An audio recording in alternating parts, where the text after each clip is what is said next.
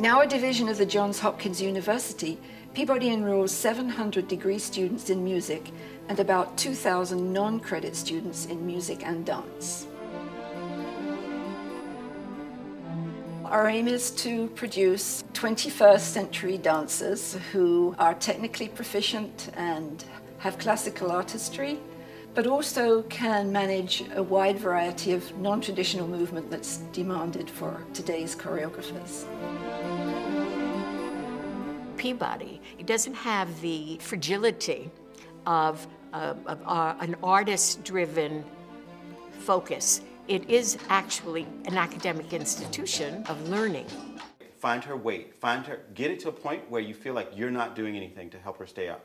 It had this curiosity of a historic line, of the evolution of styles, the collaborations of music and dance, and all these things that might have longer life than, than an individual because dance is an extraordinarily ephemeral art form.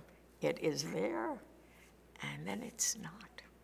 Interest in Dalcroze Eurythmics, a teaching method promoting musicality through movement, was the catalyst for Peabody to formalize a dance division in 1914.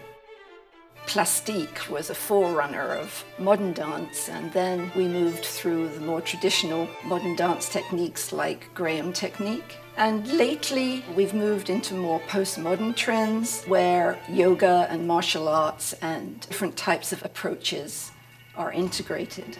And we use improvisation and composition as part of the training program.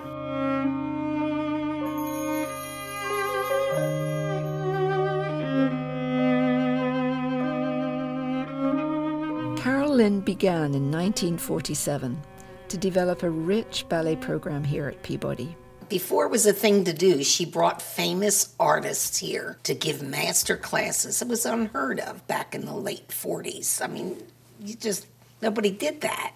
She brought Anthony Tudor, who was a very, very famous choreographer from England. It was an amazing, amazing time.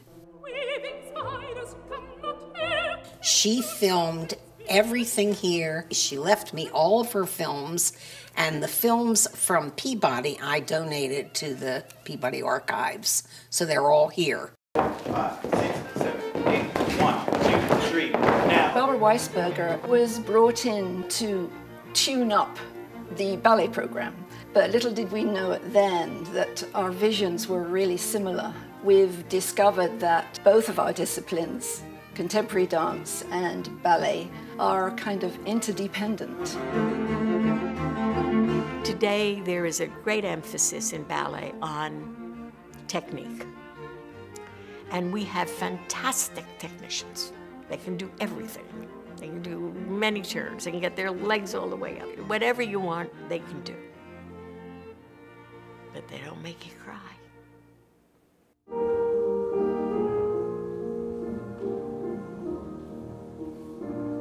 Two-thirds of our enrollment are aged between three and seven.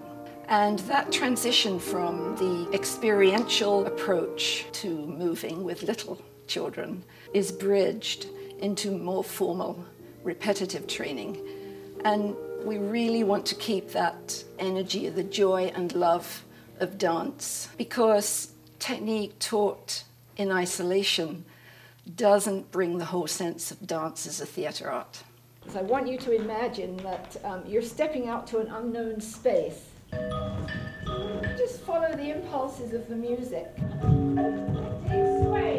What we're looking at is trying to show our students that they can also be very instrumental in the creative process of making dances rather than just be instruments for somebody else. We have quite a core of alumni dancers who are either in well respected professional training programs in New York or are actually already in companies.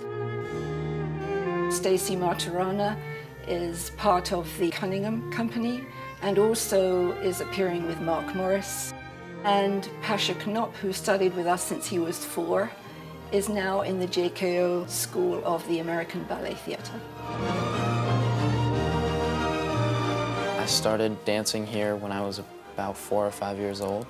I was really the only male dancer at Peabody for most of the time I was here.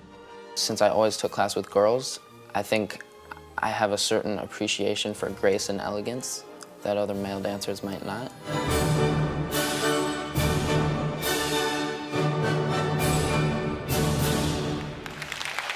In recent years, there's been a, a national deficit of male dancers.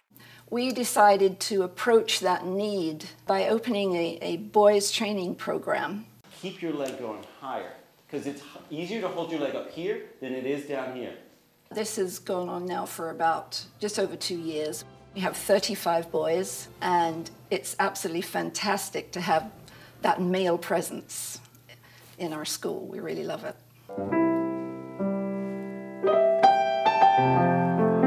Collaboration has really been a hallmark of my performing work here at Peabody. Carol tried to bring together uh, the musicians and the dancers in such a way that each of them sort of entered the world of the other.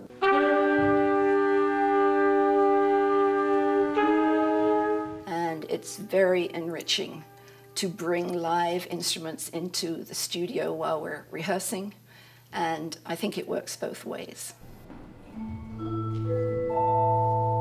We don't interact as often as we should. Everyone kind of is in their studio and they're sort of part of this world. Um, and to have this communal enterprise uh, come together was a very beautiful thing and a very inspiring thing. Peabody has unique approaches, adventurous ideas. I don't think there's any place else in this country that has such a lineage and historical interest of the development of dance in this country. We've spent a lot of time up in archives over the past year. We would open these archival boxes with all sorts of information about all of the incredible dance that went on throughout 10 decades here. And I am just overwhelmed by, by the volume of it all and by well, the excellence, the uniqueness, and uh, the richness of our history.